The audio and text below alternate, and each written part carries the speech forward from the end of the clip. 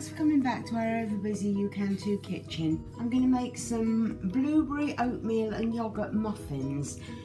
Um, since starting this channel, obviously we've been doing a lot of cakes and things and I haven't been doing incredibly well with Slimming World so I'm going to try and adapt recipes that I have that are more Slimming World friendly but they're still going to be delicious they're still going to be fabulous. If you're not on Slimming World still give them a go because I promise you will enjoy them. So as I say we're doing oatmeal blueberry and yogurt muffins tonight.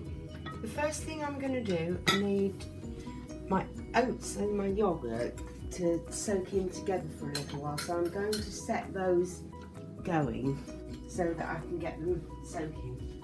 So in my in my bowl I'm going to put 85 grams of just ordinary porridge oats. So I've got 85 grams of porridge oats in my bowl.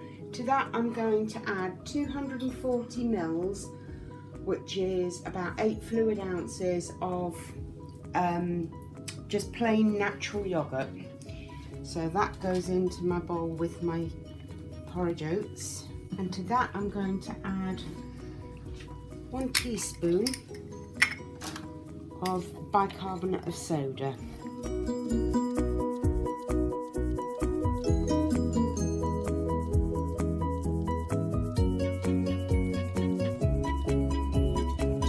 grams of plain flour. Always use plain flour with um, muffins and add baking powder and bicarbonate of soda depending on the recipe. Some have baking powder and bicarbonate of soda, some just have baking powder, some just have baking powder, some just have bicarbonate of soda. It depends on the recipe, but I will make more muffins because they are incredibly easy to make and I find it unbelievable that the shops get away with charging the prices they do for them because they literally cost pennies. These are a more expensive version because they've got oats and yogurt and all the rest of it, but standard uh, muffins are so cheap Right, so to my flour, I'm going to add one and a half teaspoons of baking powder this time. So that goes in. And the best way to combine those and to save you having to um, sieve all your flour and everything, just whisk it. It aerates the flour, it combines all the ingredients and it's a much easier and less time consuming way of doing things. So that's that. Okay, back to my yogurt mix. You can see actually it started to fluff up. It's just the oats absorbing some of the yogurt and the bicarbonate of soda reacting in there. So to that, I have one beaten egg in my bowl. I'm just going to add that to my oats mix and mix that in. And because I'm doing the Slimming World version, instead of sugar, I'm going to add sweetener. I will put the quantities for sugar so that if you want to do it without using the sweetener you can use sugar instead so in the description there will be the quantities for sugar but I'm putting 10 tablespoons of sweetener and again I'm just going to gently stir that in. 10 tablespoons sounds like an awful lot but blueberries can be quite sharp. And you've got the natural yogurt in there so it's and I'm going to be adding quark in this recipe instead of oil because obviously on Slimming World we're not supposed to have that much oil. But again I'll put the quantities for the oil in the description.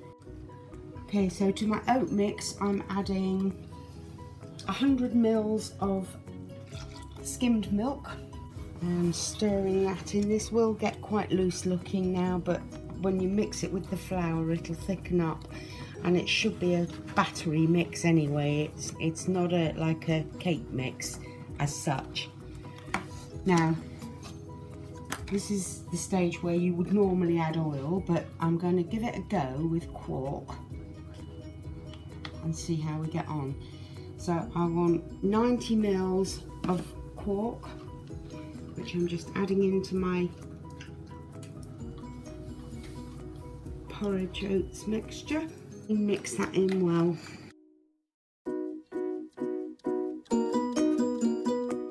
You mix your dry ingredients together, you mix your wet ingredients together, you then combine your wet ingredients into your dry ingredients. Just gonna give that a quick stir and then I'm gonna add my blueberries because they're frozen blueberries. Obviously I don't want, obviously I don't want chunks of flour sticking to my blueberries so I'm just mixing that in. 100 grams of frozen blueberries there. Buy frozen for this because fresh blueberries are a lot more expensive than frozen and frozen are perfectly fine for this. So they just go straight in. If your mixture looks too stiff, if you're not happy with it, you can add a little more milk. But again, as I say, because this is, in fact, I'm going to, because that looks too stiff for me. Okay, so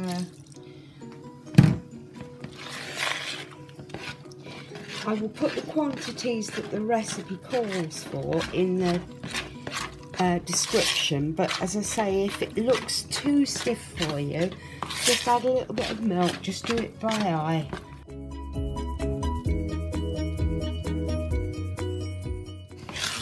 And it's more like a batter now. You can see it's a very thick batter but it is a batter as opposed to a really stiff cake mix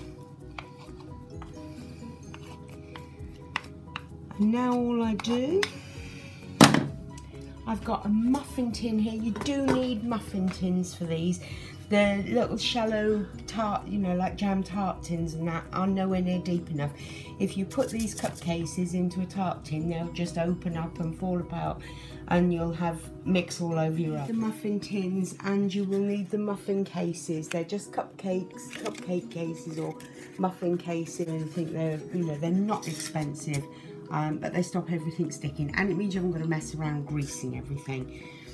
So I'm now going to spoon my mixture into my muffin cases. Now I'm going to do about a tablespoon in each one to start with and see how we go. What you want is about sort of three quarters full, each cup about three quarters full.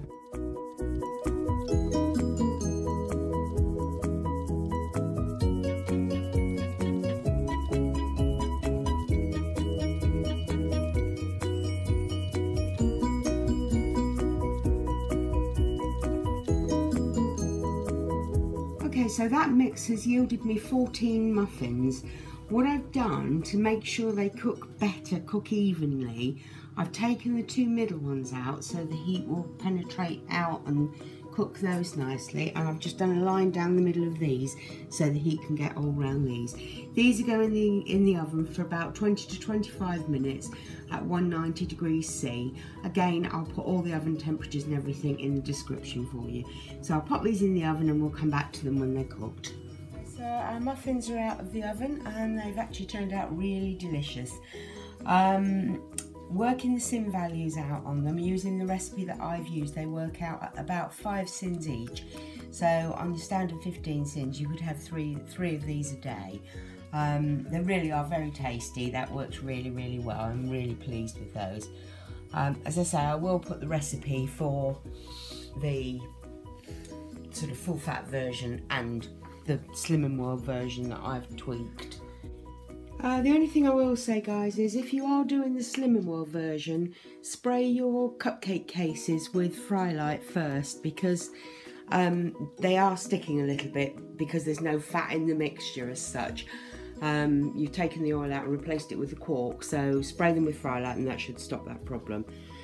And that's about it for this video guys. Um, thank you for watching. Um, I hope you've enjoyed it and I hope it gets you cooking really soon because you can too please please please subscribe to our channel. We're going to be doing a giveaway before christmas but we will only be doing it for subscribers. And sadly we can only do it in the uk because obviously being a food channel it's going to be a food giveaway. Um, like this video for us tell your friends about us share it as far and wide as you can. And we hope you'll join us again really soon on you can too. Thanks for watching guys. Bye